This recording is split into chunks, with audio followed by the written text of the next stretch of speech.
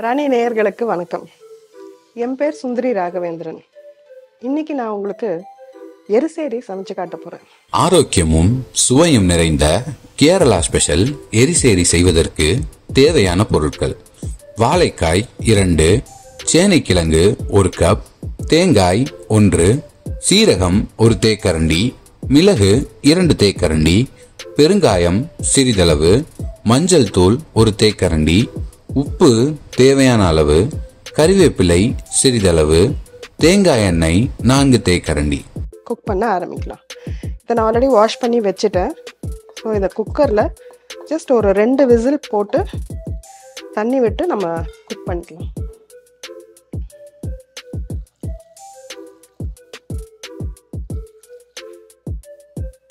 இது கூட கொஞ்சம் மஞ்சள் பொடி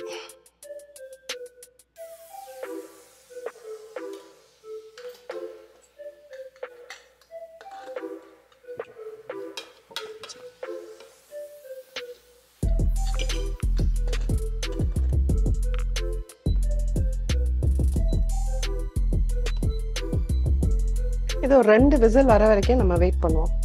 இதுக்கு நடுவில் நம்ம போய் அரைக்க வேண்டியதை அரைச்சின்னு வந்துடலாம்.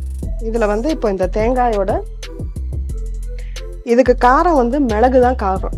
ஸோ இதுக்கு கொஞ்சம் நல்ல தாராளமாகவே மிளகு போட்டுட்டு அரைச்சி எடுத்துன்னு வரலாம். மிளகும் ஜீரகம். ரெண்டுத்தையும் போட்டு நம்ம அரைச்சி இதை எடுத்துன்னு வரலாம். இப்போ குக் பண்ணி நம்ம ரெண்டு சத்தம் வந்து ஆஃப் பண்ணியாச்சு. கேஸ் ரிலீஸ் ஆகிற வரைக்கும் நம்ம இப்போ வெயிட் பண்ணிவிட்டு ஒன்ஸ் ரிலீஸ் ஆனோடனே நம்ம தேங்காயை போட்டு சேர்த்து மற்ற ஐட்டங்களையும் போட்டு பண்ணால் எரிசரி முடிஞ்சுது.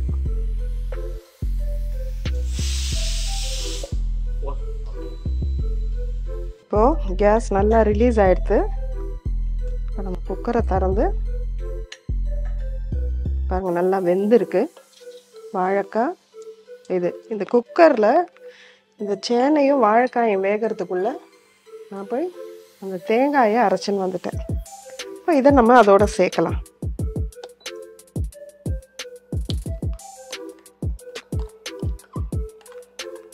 இதில் வந்து தேங்காய் ரொம்ப வழுமூன்னு அரைக்க தேவையில்லை. கொஞ்சம் சொர சொரான அந்த பெப்பர் வந்து ஒன்று ரெண்டுமா உடஞ்சிருக்கணும். கம்ப்ளீட்டாக பெப்பர் வந்து கிரைண்ட் ஆகிடக்கூடாது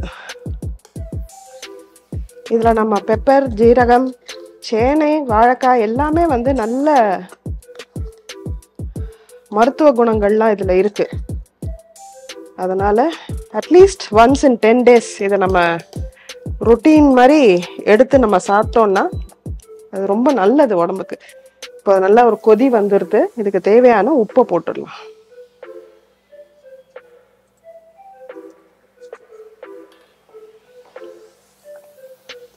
உப்பு போட்டு கலக்கிட்டு இதுக்கு ரெண்டு மெயின் இன்க்ரீடியன்ஸ் மிளகு ஜீரகத்தை தவிர வேற என்னன்னா கருவேப்பிலையும் பச்சை தேங்காய் எண்ணெயும்.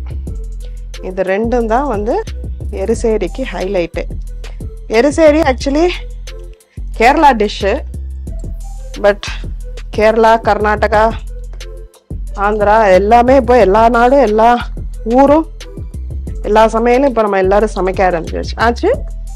எரிசேரி முடிஞ்சாச்சு. இப்போ இதுக்கு அடுத்தது ஒரு தாளிப்பு போட்டோம்னா எடுத்து நம்ம சர்வ் பண்ணிடலாம்.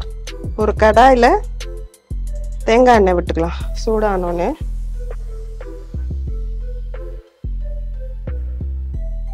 இதை நெய்யில் தாளிக்கணும்னாலும் தாளிக்கலாம்.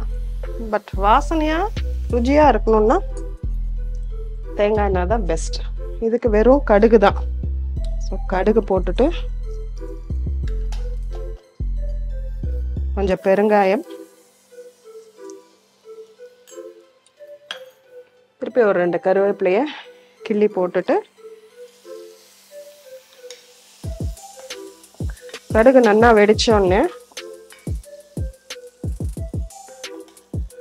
நம்ம துருவி அரைச்ச தேங்காயில் கொஞ்சம் மிச்சம் எடுத்து இதை நல்லா கோல்டன் ப்ரௌனுக்கு வறுத்து அதில் போட்டால் நம்ம எருசேரி ரெடி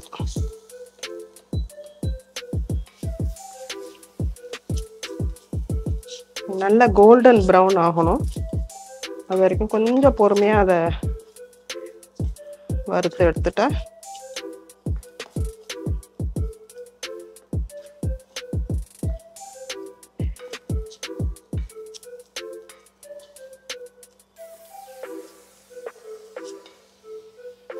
இந்த சேனை வாழைக்காய் இதெல்லாம் சாப்பிட்டா வாயு ஏறும். பிடிக்காது. அந்த மாதிரி சொல்றவாளுக்கு இதை இப்படி பண்ணி கொடுத்தா நல்லா வெந்து இதை நம்ம பண்றதுனால இந்த வாயு தொல்லை அதெல்லாம் எதுவுமே வாயுங்கிறதெல்லாம் சும்மா அதெல்லாம் ஒரு மித்து தான்.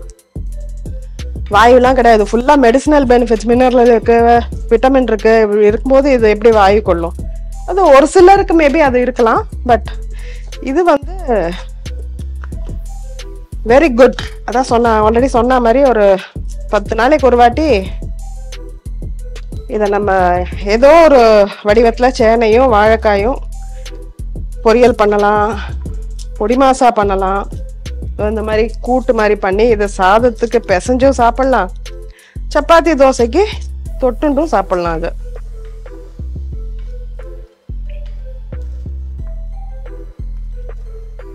இதோ இப்போ நல்லா அது பாருங்க கோல்டன் ப்ரௌன் ஆயிடுது.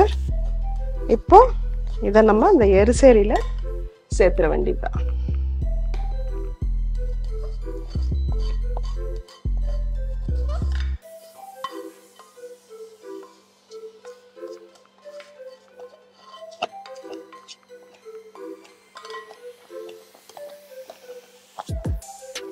இப்போ நம்மளோட சுவையான எரிசேரி ரெடி இதை நம்ம சர்விங் பவுலில் சர்வ் பண்ணுறதுக்கு மாற்றிடலாம்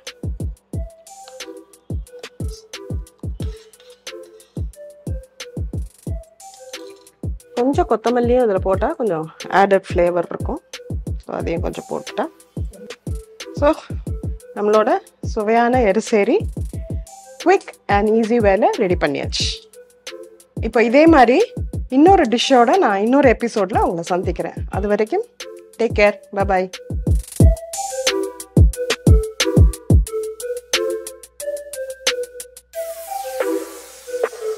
செய்முறை.